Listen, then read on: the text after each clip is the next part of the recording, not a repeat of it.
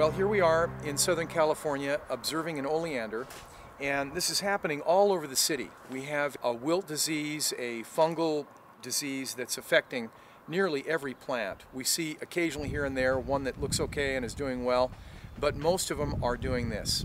The whole top of the plant is dying back. You can see where the stems are turning black, the leaves wilt and discolor, and the plant simply goes into decline, fades, and then completely dies all the way to the root crown. This is a serious infestation. It's affecting a lot of plant material in this part of the country. Here we find the typical process of decline.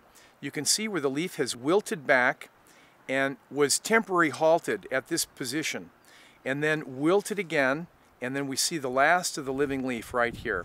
So in stages, in phases, this disease apparently wilts the leaf back to the main stem and then the main stem itself also dies.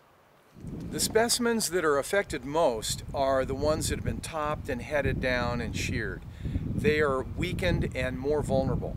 Perhaps those end grain cuts allow the decay organism, the decline organism to establish itself and weaken the plant further. Ones that are in natural form with natural leading meristem tips seem to be a little bit more resistant. But any of them that have been topped, hedged, or sheared go into decline almost immediately. We're seeing this all over the city.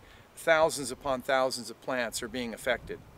You will occasionally see a few live shoots occurring in the canopy that give us a sense of hopefulness that maybe they can be recovered.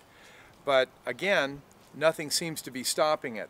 So even healthy plants now are being affected. So we could see just the tip of the iceberg of this plant really losing its position in the Southern California landscape.